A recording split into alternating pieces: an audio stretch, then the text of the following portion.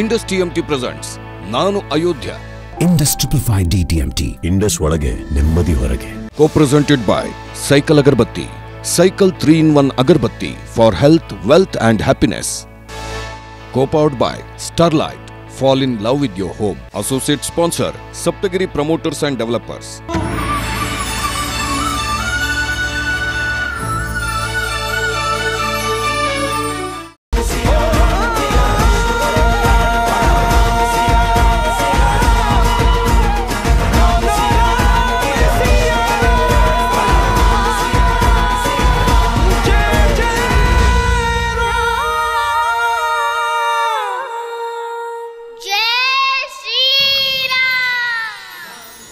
ನಾನು ಅಯೋಧ್ಯೆ. ಇಂದು ಸಂಕಟಗಳೆಲ್ಲ ಕಳೆದ ನಿರಾಳತೆಯಲ್ಲಿದ್ದೇನೆ. ಅಂದು ರಾಮ ವನವಾಸ ಮುಗಿಸಿ ಬಂದ ದಿನದ ಸಂಭ್ರಮದಂತೆಯೇ ಇಂದು ಎಲ್ಲೆಡೆ ಸಡಗರ ಕಾಣಿಸುತ್ತಿದೆ.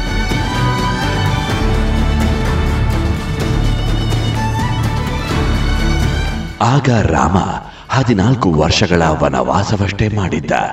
ಈಗ ಶತಮಾನಗಳ ವನವಾಸ ಮುಗಿಸಿ ಬರುತ್ತಿದ್ದಾನೆ. ನನ್ನ ರಾಮಭದ್ರ ರಾಮಚಂದ್ರ.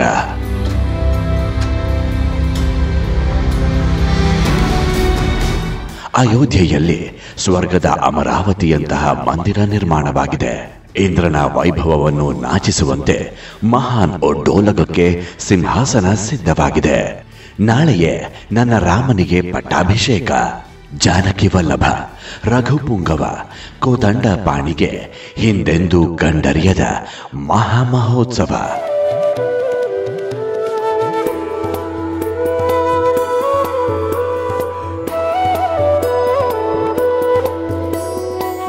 ಹಾಗಾದರೆ ಹೇಗಿದೆ ನನ್ನ ರಾಮನ ಮಂದಿರ? ನನ್ನ ನಿಮ್ಮ ಎಲ್ಲರ ದೇವರ ಭವ್ಯ ಸೌಧ ಕಟ್ಟಿದ ಶಿಲ್ಪಿ ಯಾರು? ಸರಿಯಾಗಿ ರಾಮನವಮಿಯ ದಿನ ಬಾಲರಾಮನ ಪ್ರತಿಮೆಯ ಶಿರೋಫಲಕಕ್ಕೆ ಸೂರ್ಯನ ಬೆಳಕು ಬೀಳುವಂತೆ ಮಂದಿರ ಕಟ್ಟಿದ ಆ ಮಹಾಪುರುಷ ಯಾರು?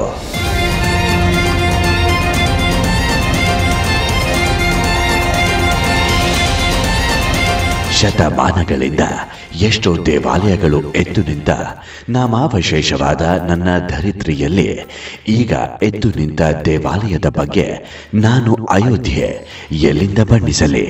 ಈ ಹೊಸ ದೇವಾಲಯದ ಅಪರೂಪದ ಮತ್ತು ಬೇರೆಲ್ಲೂ ನೀವು ಕೇಳಿರದ ಮಾಹಿತಿಯನ್ನು ನಾನಿಲ್ಲಿ ನಿಮಗೆ ನೀಡುತ್ತೇನೆ.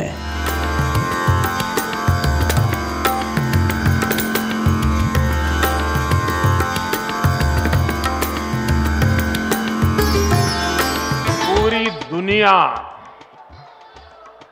उत्सुकता के साथ 22 जनवरी के ऐतिहासिक क्षण का इंतज़ार कर रही है। और मैं भी आपकी तरह उतना ही उत्सुक हूँ।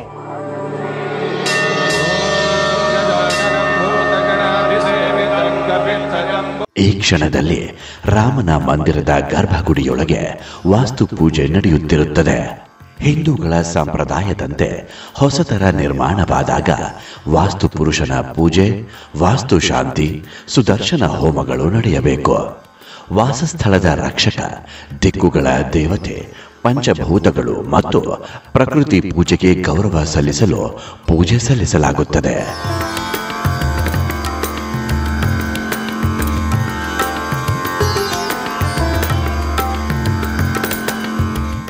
ಈಗ ತಲೆ ನಿಂತ ನನ್ನ ರಾಮನ ಮಂದಿರ ಕಾಂಬೋಡಿಯಾದ ಬಳಿಕ ಜಗತ್ತಿನಲ್ಲೇ ಅತಿ ದೊಡ್ಡದಾದ ದೇವಾಲಯವಾಗಿದೆ. ಜೊತೆಗೆ ಭಾರತದ ವಾಸ್ತುಶಾಸ್ತ್ರ, ಶಿಲ್ಪಶಾಸ್ತ್ರದ ಪ್ರಕಾರವೇ ನಿರ್ಮಿಸಲಾಗಿದೆ. ವಿಶೇಷವೆಂದರೆ ಈ ದೇವಾಲಯದಲ್ಲೆಲ್ಲೂ ಆಧುನಿಕ ರಚನೆ ಅಂದರೆ ಸಿಮೆಂಟು, ಕಾಂಕ್ರೀಟು, ರಾಸಾಯನಿಕ ಯಾವುದನ್ನೂ ಬಳಸಲಾಗಿಲ್ಲ. ಭಾರತದ ಮಣ್ಣು ಕಲ್ಲು ಮತ್ತು ನಮ್ಮ ನೆಲದ ಪ್ರಾಚೀನವಾದ ಶಿಲ್ಪಶಾಸ್ತ್ರದ ಮಹಾನ್ ಟೆಕ್ನಿಕ್ಗಳೆಲ್ಲವನ್ನು ಬಳಸಿ ನಿರ್ಮಿಸಲಾಗಿದೆ.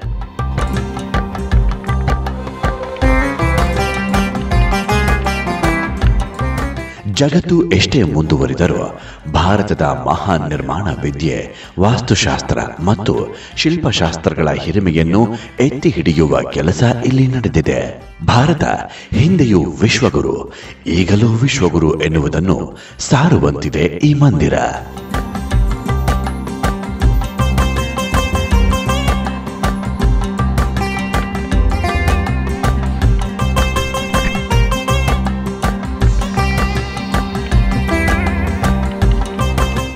Sanatan in character. It is not about Hindus alone.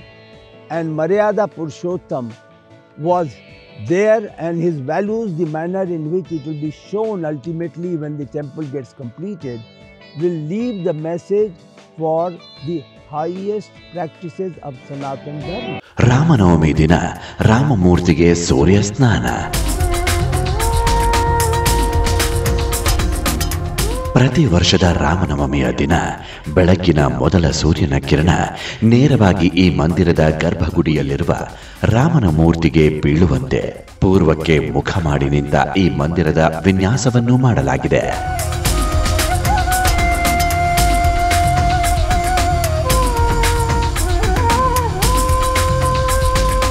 ಹೇಗೆ?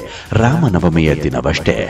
ಸೂರ್ಯನ ಕಿರಣ ರಾಮನ ಮೂರ್ತಿಯ ಮೇಲೆ ಬೀಳುವಂತಹ ತಂತ್ರಜ್ಞಾನವನ್ನು ಅಭಿವೃದ್ಧಿಪಡಿಸಲಾಗಿದೆ. ಹೇಗೆ ಅದೇ ದಿನ ಮಾತ್ರ ಗರ್ಭಗುಡಿಯಲ್ಲಿರುವ ಮೂರ್ತಿಗೆ ಸೂರ್ಯ ರಶ್ಮಿಯ ಸೇಚನವಾಗುತ್ತದೆ. ಬೆಂಗಳೂರಿನ ಗವಿಗಂಗಾಧರೇಶ್ವರನ ಶಿವಲಿಂಗಕ್ಕೆ ಮಕರ ಸಂಕ್ರಾಂತಿಯ ದಿನ ಮಾತ್ರ ಸೂರ್ಯನ ಕಿರಣ ಬೀಳುವಂತೆ.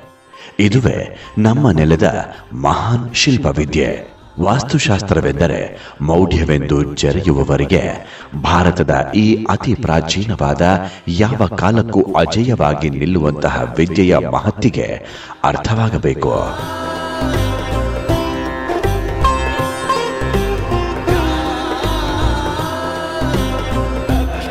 ವಾಸ್ತು ಪ್ರಕಾರವೇ ನಿರ್ಮಾಣವಾಗಿತ್ತು ಅಯೋಧ್ಯೆ ನಗರಿ.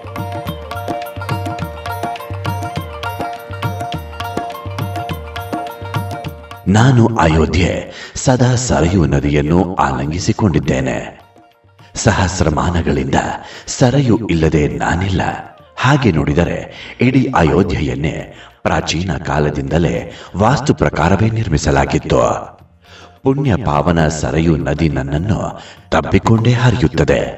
ಪೂರ್ವ, ಉತ್ತರ ಪಶ್ಚಿಮದಲ್ಲಿ ರಾಮನ ಜನ್ಮಸ್ಥಾನವನ್ನು ಮೂರು ಭಾಗಗಳಿಂದ ಆವರಿಸಿಕೊಂಡು ಪಶ್ಚಿಮದಿಂದ ಪೂರ್ವದತ್ತ ಹರಿಯುತ್ತಾಳೆ ಸರಯೋ ಅಯೋಧ್ಯೆಯ ಈ ದಡದ ಉದ್ದಕ್ಕೂ ಹಲವಾರು ದೇವಾನು ದೇವತೆಗಳ ಮಂದಿರಗಳನ್ನು ರಚಿಸಲಾಗಿದೆ. ಎಲ್ಲದಕ್ಕೂ ಎತ್ತರದಲ್ಲಿರುವುದು ಈ ರಾಮನ ಜನ್ಮಸ್ಥಾನ. ನದಿಯ ದಡದಲ್ಲಿ, ಅದು ಎತ್ತರದ ಪ್ರದೇಶದಲ್ಲೇ, ಸಾವಿರಾರು ವರ್ಷಗಳಿಂದ ನಾಗರಿಕತೆಗಳು ಹುಟ್ಟಿ ಬೆಳೆದದ್ದು. ನದಿ ತೀರದ ಎತ್ತರದ ಪ್ರದೇಶ ಸದಾ ಶುಭವೆಂದು ಅಲ್ಲಿ ಮಂದಿರವನ್ನು ಕಟ್ಟಲಾಗಿತ್ತು. ಈಗಲೂ ಅದೇ ಪ್ರದೇಶದಲ್ಲಿ ನನ್ನ ರಾಮನ ಗುಡಿ ವಿಶ್ವವೇ ತಲೆದೂಗುವಂತೆ ನಿರ್ಮಾಣವಾಗಿದೆ. ರಾಮ ಮಂದಿರದ Vishwakarma Chandrakanta Sompura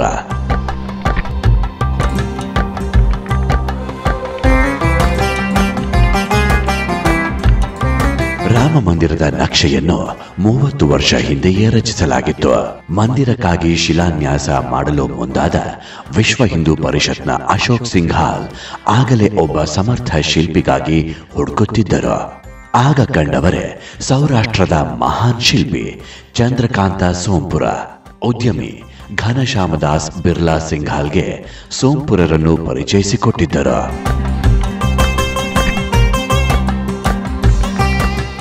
So he just contacted Birlaji and told him to like what how, how matlab, who is doing your temple designing and all that stuff. So he straight away said like one family from Gujarat whose father has done the Somnath temple. Uh, they are doing our all work. So he immediately like why didn't you call him and um, uh, wa- want to talk to him about the temple. So uh, he called uh, Daddy uh, in 19. ಚಂದ್ರಕಾಂತರ ತಾತ ಪದ್ಮಶ್ರೀ ಪುರಸ್ಕೃತ ಪ್ರಭಾಶಂಕರ್ ಸೋಂಪುರ ಗುಜರಾತ್ನ ಸೋಮನಾಥದಲ್ಲಿರುವ ಸೋಮನಾಥನ ಮಂದಿರವನ್ನು ನಿರ್ಮಿಸಿದವರು.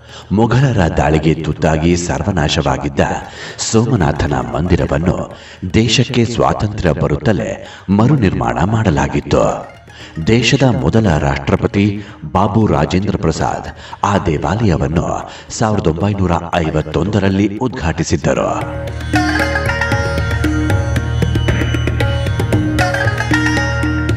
ಮೂವತ್ತು ವರ್ಷ ಹಿಂದೆ ವೇಷ ಮರೆಸಿ ಹೋಗಿ ಮಂದಿರದ ನಕ್ಷೆ ರಚಿಸಿದ್ರು ಸೋಂಪುರ. ಸಾವಿರದ ಒಂಬೈನೂರ ಎಂಬತ್ತೆಂಟರಲ್ಲಿ ಅಯೋಧ್ಯೆಗೆ ಹೋದಾಗ ಸೋಂಪುರರು ವೇಷ ಬದಲಿಸಬೇಕಾಯಿತು.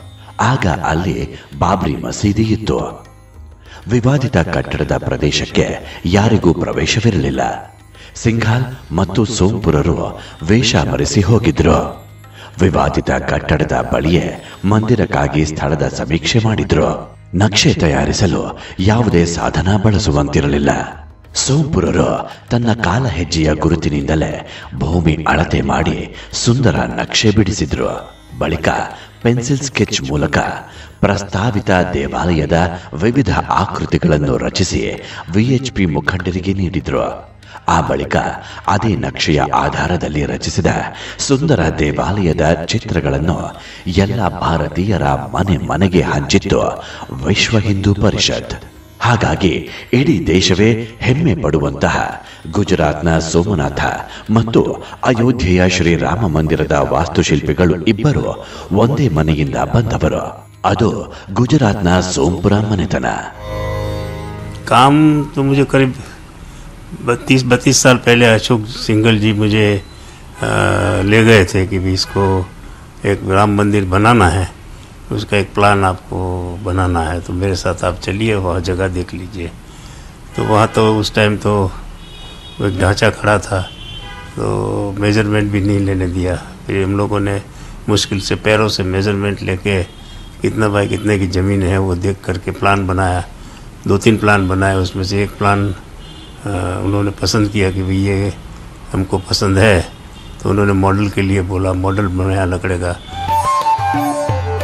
ಸೋಂಪುರರು ದೇವಾಲಯಗಳ ನಿರ್ಮಾಣದ ಕೌಶಲ್ಯ ಪರಂಪರೆಯಿಂದಲೇ ಕರಗತವಾಗಿದ್ದ ಕುಟುಂಬದಿಂದ ಬಂದವರು ವಿಶ್ವಕರ್ಮನಿಂದಲೇ ಆ ಕಲೆ ನಮ್ಮ ಕುಟುಂಬಕ್ಕೆ ಪ್ರಾಪ್ತಿಯಾಗಿತ್ತು ಎನ್ನುವುದು ಸೋಂಪುರರ ಮಾತು ಅದು ಸೋಂಪುರವಲ್ಲ ಸೋಮಪುರವಂತೆ ಸೋಮಪುರವೆಂಬ ಹೆಸರು ಬರಲು ಒಂದು ಕಾರಣವಿದೆ.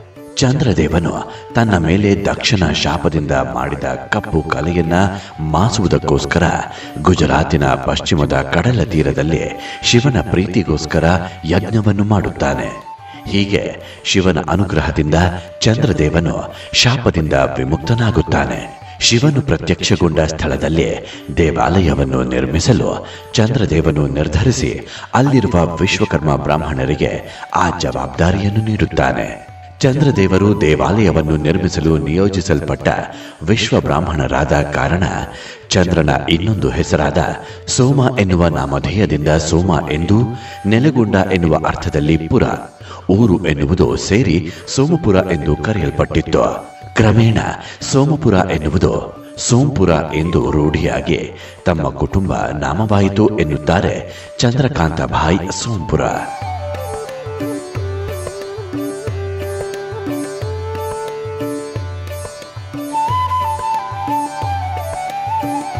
ಇವರಿಗೆ ವೇದ ವಿದ್ಯೆಯೂ ಗೊತ್ತು ಶಿಲ್ಪ ವಿದ್ಯೆಯೂ ಗೊತ್ತು. ಪ್ರತಿ ಸ್ತಂಭದ ಆಯಾ, ಲೆಕ್ಕಾಚಾರಗಳು, ಶ್ಲೋಕಗಳನ್ನು ಆಧರಿಸಿಯೇ ಕೆತ್ತಲಾಗುತ್ತದೆ. ವಿಶ್ವಕರ್ಮ ಪ್ರಕಾಶ, ಮನುಷ್ಯಾಲಯ ಪ್ರಕಾಶದಂತಹ ಭಾರತದ ಅತಿ ಪ್ರಾಚೀನ ವಾಸ್ತುಶಾಸ್ತ್ರದ ಗ್ರಂಥಗಳ ಪ್ರಕಾರವೇ ರಾಮನ ಮಂದಿರವನ್ನು ರಚಿಸಲಾಗಿದೆ.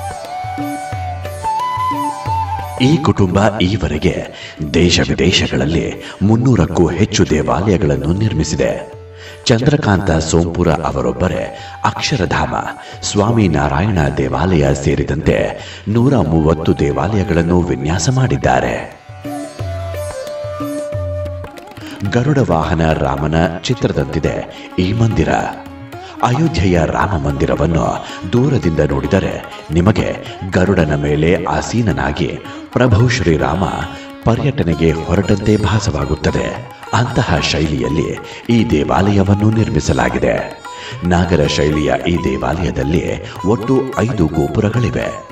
ಎದುರಿನ ಪುಟ್ಟ ಗೋಪುರ ಗರುಡನ ಶಿರದಂತೆ ಕಾಣಿಸಿದರೆ ಎಡಬಲಗಳ ನೃತ್ಯ ಮಂಟಪ, ಕೀರ್ತನ ಮಂಟಪಗಳು, ಗರುಡನ ಎರಡು ವಿಶಾಲ ರೆಕ್ಕೆಗಳಂತೆಯೂ ದೇವಾಲಯದ ಹಿಂಬದಿಯಲ್ಲಿ ಎತ್ತರದಲ್ಲಿರುವ ಮುಖ್ಯ ಗರ್ಭಗುಡಿಯ ಶಿಖರ ಆ ಗರುಡನ ಮೇಲೆ ಆಸೀನನಾದ ಪ್ರಭು ಶ್ರೀರಾಮಚಂದ್ರನಂತೆ ಕಾಣಿಸುತ್ತದೆ.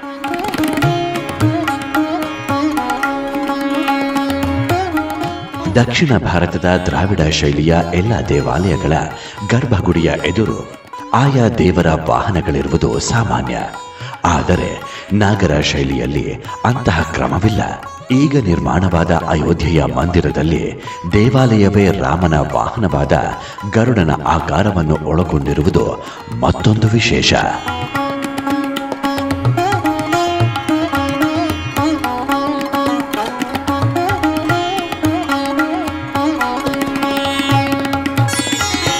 ಅಷ್ಟಕೋನಾಕಾರದ ಭವ್ಯ ಮಂದಿರ ಇಷ್ಟು ದೊಡ್ಡ ಮಂದಿರ ಇಡೀ ಭರತ ಖಂಡದಲ್ಲೇ ಎಲ್ಲೂ ಇಲ್ಲ ಬಹುಶಃ ಇನ್ನು ಮುಂದೆ ಇಂತಹದ್ದನ್ನು ನಿರ್ಮಿಸಲಿಕ್ಕೂ ಆಗದು ಎನ್ನುತ್ತಾರೆ ಚಂದ್ರಕಾಂತ ಸೋಂಪುರ ये नागर शैली जो उत्तर भारत में मध्य भारत में सब में फेमस है वो नागर शैली उस नागर शैली में पूरा मंदिर बना है और सबसे बड़ा अ, अ, हिंदुस्तान में उसे बहुत से कम मंदिर ऐसे होंगे जो बड़े होंगे। तो पाँच मंडप है, गुड़ मंडप बड़ा है नृत्य मंडप है, सभा मंडप है, कीर्तन मंडप है, ऐसे अलग अलग मंडप है कवल प्रदक्षिणा है, और गर्भगृह भी 20 फुट बाय 20 फुट का है। मतलब अष्टकोण में, जो कि एक विश्व विष्णु का आठ स्वरूप मतलब माना जाता है, उसके हिसाब से आठ स्वरूप किया गया है। मतलब काफ़ी उसमें नागर शैली के साथ में विष्णु के अवतार के हिसाब से भी बनाया गया है ಇಡೀ ದೇವಾಲಯ ಪೂರ್ವಕ್ಕೆ ಮುಖ ಮಾಡಿ ನಿಂತಂತಿದೆ ಅಷ್ಟಕೋನಾಕೃತಿಯಲ್ಲಿರುವ ದೇವಾಲಯದ ಒಳಗೆ ಐದು ಮಂಟಪಗಳಿವೆ ಪೂರ್ವದಲ್ಲಿ ಮಂದಿರ ಪ್ರವೇಶಿಸಲು ಹದಿನಾರು ಅಡಿ ಎತ್ತರದ ಮೆಟ್ಟಿಲುಗಳಿವೆ ದಕ್ಷಿಣದಿಂದ ನಿರ್ಗಮನ ದ್ವಾರವಿದೆ ದೇವಾಲಯ ಪ್ರವೇಶಿಸುತ್ತಿದ್ದಂತೆಯೇ ರಂಗಮಂಟಪ, ನೃತ್ಯ ಮಂಟಪಗಳಿವೆ. ಎರಡು ಪಾರ್ಶ್ವಗಳಲ್ಲಿ ಪ್ರಾರ್ಥನಾ ಮಂಟಪ ಮತ್ತು ಕೀರ್ತನಾ ಮಂಟಪಗಳಿವೆ. ಹಿಂದಕ್ಕೆ ಗೂಡ್ ಮಂಟಪವಿದೆ. ಎಲ್ಲದರ ಹಿಂದೆ ಅಷ್ಟಕೋನಾಕಾರದಲ್ಲಿ ಗರ್ಭಗುಡಿ ಇದೆ. ವಿಷ್ಣುವಿಗೆ ಅಷ್ಟಕೋನಾದ ಆಕಾರ ಪ್ರೀತಿ. ಅದು ಭಗವಾನ್ ಮಹಾವಿಷ್ಣುವಿನ ಎಂಟು ರೂಪಗಳ ಸಂಕೇತದಂತೆ ಜನ್ಮವೆತ್ತ ಸ್ಥಳದಲ್ಲೇ ಗರ್ಭಗುಡಿಯ ಸಿಂಹಾಸನದಲ್ಲಿ ಬಾಲರಾಮನ ರೂಪದಲ್ಲಿ ಶ್ರೀರಾಮಚಂದ್ರ ವಿರಾಜಮಾನವಾಗಲಿದ್ದಾನೆ.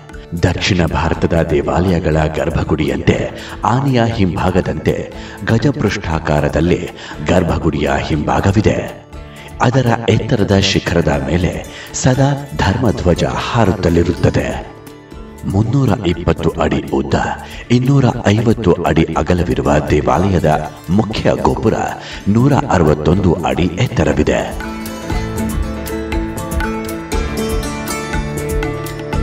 ಮಂದಿರದ ಮೊದಲನೆಯ ಮಹಡಿಯಲ್ಲಿ ಹಸ್ತೋಚಿತವಾದ ಯಜ್ಞಶಾಲೆ, ಯಜ್ಞ ಮಂಟಪವಿದ್ದರೆ ಎರಡನೇ ಮಹಡಿಯನ್ನು ಖಾಲಿ ಬಿಡಲಾಗುತ್ತದೆ. ಮುಖ್ಯ ದೇವಾಲಯದ ಸುತ್ತಲೂ ಸುತ್ತು ಪೌಳಿಗಳಿರುತ್ತವೆ.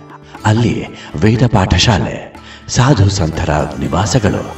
ಯಾತ್ರಿ ನಿವಾಸ, ಗ್ರಂಥಾಲಯ, ಉತ್ಖನನದ ವೇಳೆ ಸಿಕ್ಕ ವಸ್ತುಗಳನ್ನಿಡಲು ಸಂಗ್ರಹಾಲಯ, ಭೋಜನ ಶಾಲೆಗಳು, ಭಗವಾನ್ ರಾಮನ ಚಿತ್ರ ತೋರಿಸಲು ಟಾಕೀಸ್, ಸಭಾಗೃಹ, ಸತ್ಸಂಗ ಭವನಗಳಿರುತ್ತವೆ.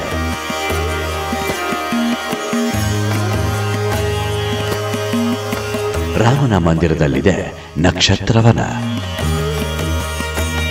ಅಯೋಧ್ಯೆಯ ರಾಮ ದೇವಾಲಯದ ಪರಿಸರದಲ್ಲಿ ವಿಶೇಷವಾದ ನಕ್ಷತ್ರ ವನವೊಂದನ್ನು ನಿರ್ಮಿಸಲಾಗುತ್ತದೆ. ಇಪ್ಪತ್ತೇಳು ನಕ್ಷತ್ರಗಳಿಗೆ ತಕ್ಕಂತೆ ಆಯಾ ನಕ್ಷತ್ರಗಳಿಗೆ ಮೂಲವಾದ ಇಪ್ಪತ್ತೇಳು ವಿವಿಧ ಮರಗಳನ್ನು ಇಲ್ಲಿ ನೆಡಲಾಗುತ್ತದೆ. ಜನ್ಮದಿನದಂದು ಅಲ್ಲಿಗೆ ಹೋದರೆ ನಿಮ್ಮ ನಕ್ಷತ್ರದ ಮರದ ಬಳಿ ಪ್ರಾರ್ಥಿಸಬಹುದು. ಹೀಗೆ ಜನ್ಮದಿನದಂದು ನಿಮ್ಮ ನಕ್ಷತ್ರದ ಮರಗಳಿಗೆ ಪ್ರದಕ್ಷಿಣೆ ಬಂದು ಪ್ರಾರ್ಥಿಸಿದರೆ ಶುಭ ಫಲಗಳು ಪ್ರಾಪ್ತಿಯಾಗುತ್ತದೆ ಎಂಬ ನಂಬಿಕೆಯಿದೆ. ವಾಸ್ತು ದೋಷದಿಂದ ಸಂಘರ್ಷದ ತಾಣವಾಗಿತ್ತು ಅಯೋಧ್ಯೆ.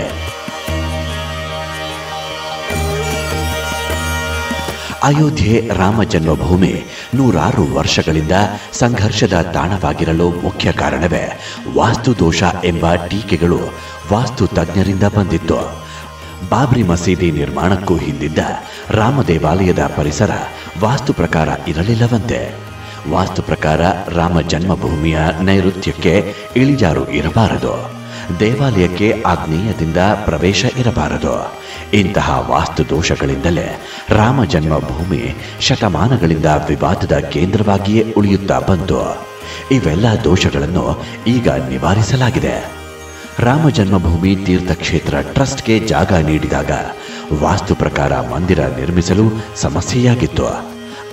ಆ ಜಾಗವನ್ನು ವಾಸ್ತುಶಾಸ್ತ್ರಕ್ಕೆ ತಕ್ಕಂತೆ ಅಯತಾಕಾರ ಅಥವಾ ಚೌಕಾಕಾರಕ್ಕೆ ವಿಸ್ತರಿಸುವುದು ಸವಾಲಾಗಿತ್ತು. ಮುಂದೆ ರಾಮ ಜನ್ಮಭೂಮಿಯ ಈ ವಾಸ್ತುದೋಷ ನಿವಾರಣೆಗಾಗಿ ಹೆಚ್ಚುವರಿ ಜಾಗವನ್ನು ಖರೀದಿಸಲಾಯಿತು.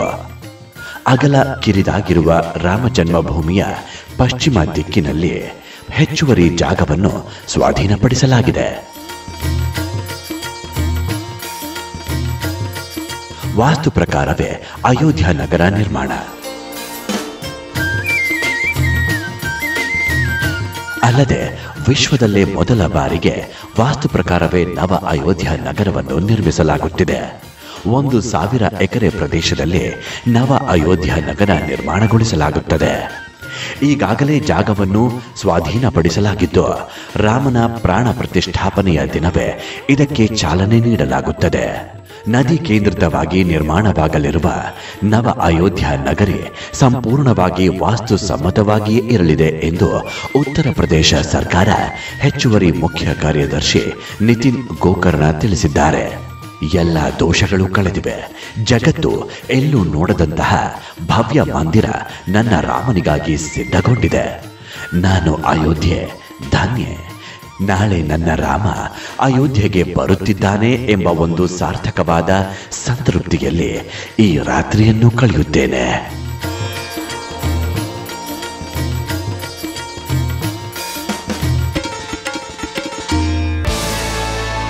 ಇಂಡಸ್ ಟಿ ಪ್ರೆಸೆಂಟ್ಸ್ ನಾನು Ayodhya.